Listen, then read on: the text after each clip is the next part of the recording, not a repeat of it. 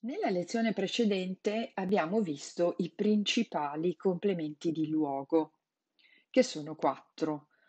Uno complemento di stato in luogo e gli altri tre di movimento. Complemento di moto da luogo, di moto a luogo, di moto per luogo. Ci sono altri complementi che riguardano sempre lo spazio. Veniamo al primo, il primo è il complemento di luogo figurato. Cosa significa luogo figurato? Partiamo sempre dalle parole per capire il significato di ciò che abbiamo davanti. Vabbè, luogo riguarda un luogo. Figurato significa che in realtà quel luogo non esiste. È qualcosa che noi ci raffiguriamo nella nostra mente. Facciamo un esempio. Se io scrivo sono finito in un bel pasticcio. Procediamo con la nostra analisi. Sono finito è il verbo, predicato, verbale, perché è voce del verbo finire. Chi compie l'azione di eh, essere finito? Io, che sarà quindi il soggetto sottointeso. Dove? In un bel pasticcio verrebbe spontaneo pensare a un moto a luogo, ma ragioniamo un attimo su questa parola. Pasticcio.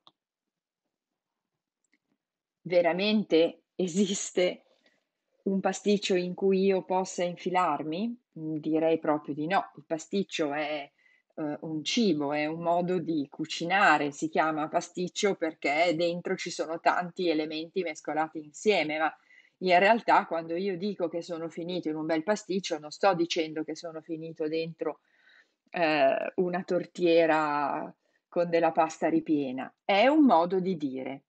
Quindi, nella mia analisi, io scriverò in un bel pasticcio, sicuramente complemento di luogo, ma di luogo figurato.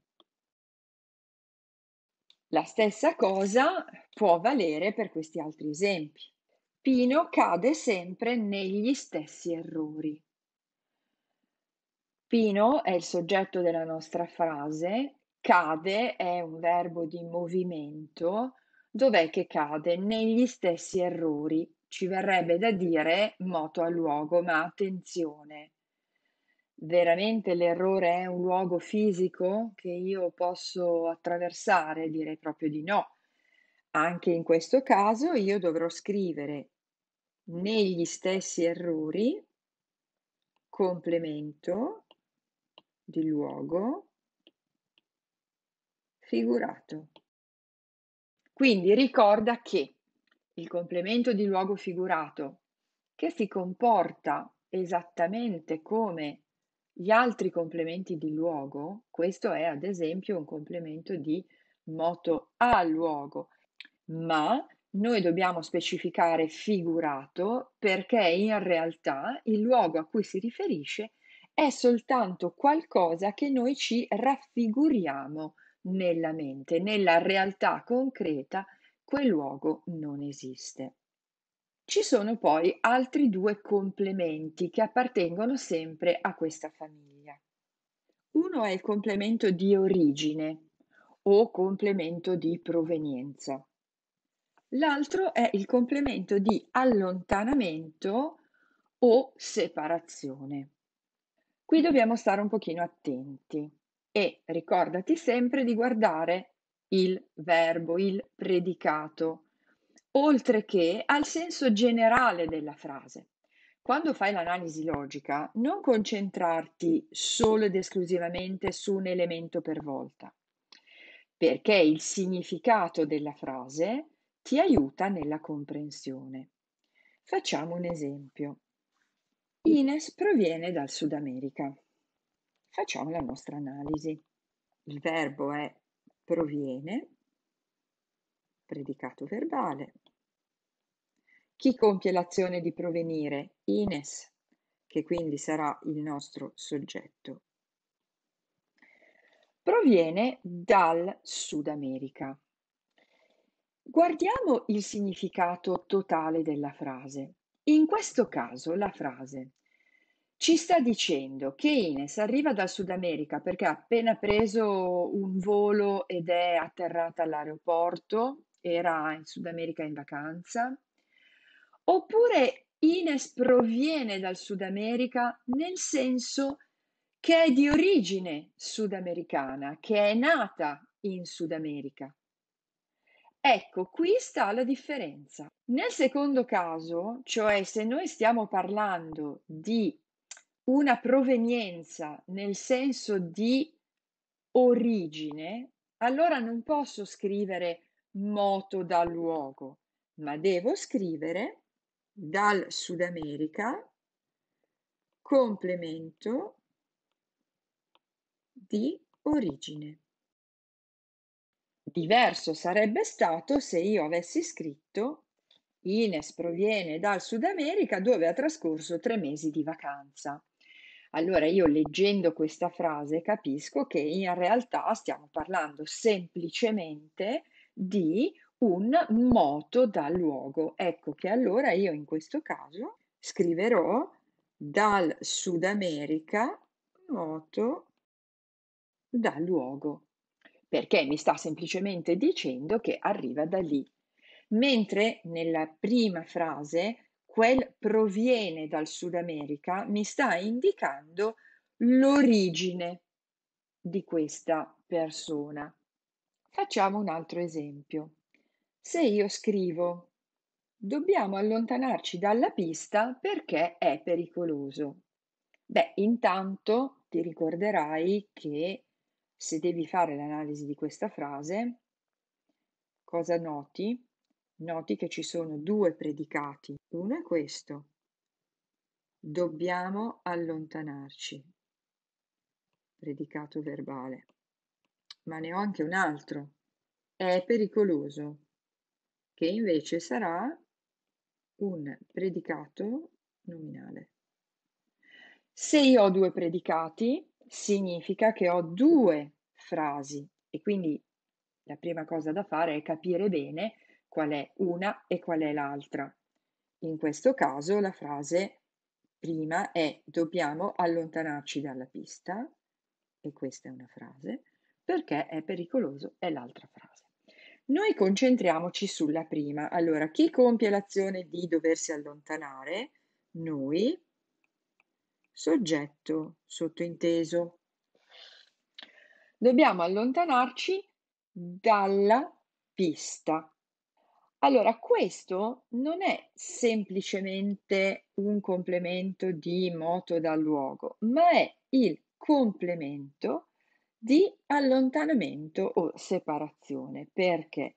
Perché ci indica il luogo, che può essere un luogo, ma può essere anche una persona, una cosa, da cui ci stiamo allontanando, da cui ci stiamo separando. Quindi io scriverò dalla pista complemento di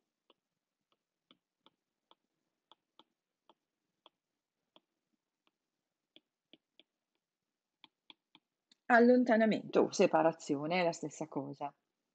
Facciamo un altro esempio. La libertà dalla tirannia è un bene fondamentale. Facciamo la nostra analisi è un bene fondamentale, è il nostro predicato nominale. Chi è che è un bene fondamentale? La libertà, che quindi sarà il nostro soggetto, dalla tirannia. In questo caso, dalla tirannia ci sta dando l'idea di qualcosa da cui noi dobbiamo Separarci. La libertà da che cosa? Dalla tirannia, cioè la lontananza, l'allontanamento dalla tirannia è un bene fondamentale. Quindi in questo caso io scriverò complemento di allontanamento. Perché il concetto che mi sta dicendo è proprio quello di una separazione, di un allontanamento. Sono 2 complementi, questi ultimi, che a volte è difficile riconoscere. Ma per non sbagliare, tu dovrai sempre guardare molto bene il significato complessivo della frase. Adesso, come al solito, ti consiglio di prendere carta e penna, facciamo insieme qualche frase per vedere se hai capito questo ripasso.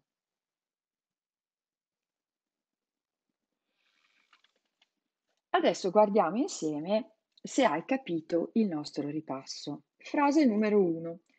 L'esploratore ha dovuto districarsi tra mille peripezie. Ha dovuto districarsi, predicato verbale. Chi ha compiuto questa azione? L'esploratore, che quindi sarà il soggetto. Ha dovuto districarsi tra mille peripezie. Allora, tra mille peripezie indica sicuramente un luogo, ma in questo caso è un luogo figurato. Cosa sono le peripezie? Sono le avventure, le difficoltà, ma non sono qualcosa che esiste realmente, cioè l'esploratore non è che ha attraversato veramente, concretamente eh, dei luoghi che si chiamano peripezie. Quindi noi scriveremo luogo figurato. Frase numero 2. I vichinghi arrivarono dal nord Europa. Arrivarono è il predicato verbale, il soggetto sono i vichinghi, che arrivano dal nord Europa. In questo caso ci stanno semplicemente dicendo che i vichinghi sono partiti dal nord Europa e poi si sono spostati da qualche altra parte. Quindi questo è semplicemente un moto da luogo. Se invece io dico i popoli scandinavi discendono dai vichinghi, in questo caso, dai vichinghi, mi sta indicando l'origine, la provenienza. E allora scriverò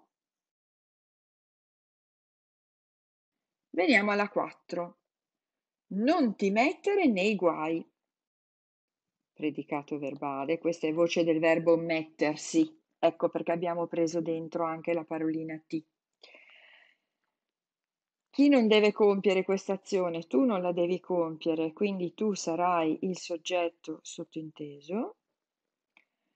Dove non ti devi mettere? Nei guai, che sicuramente mi sta indicando un luogo, ma attenzione, i guai non esistono veramente, non sono un luogo fisico e quindi io scriverò luogo figurato. Uscendo dal cinema ho incontrato Pino. Io ho incontrato, predicato verbale, Pino, complemento oggetto, e questa è una frase. Uscendo dal cinema, vedi che ci sono due predicati,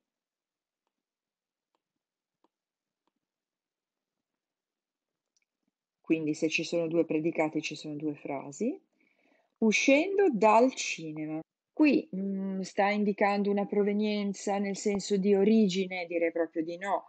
Sta indicando un allontanamento, una separazione, direi proprio di no. Sta semplicemente dicendo che io prima ero al cinema e poi sono uscito e quindi questo è semplicemente un moto da luogo. Se invece io dico cerca di essere libero da ogni pensiero negativo, tu, soggetto sottinteso,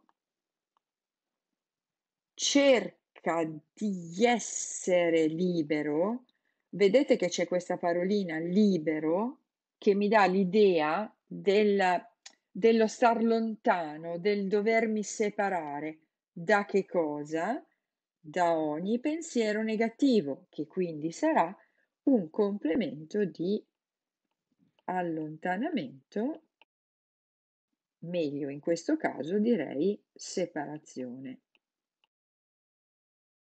Quindi, ricapitolando, stai molto attento al significato globale della frase e al significato dei verbi, dei predicati.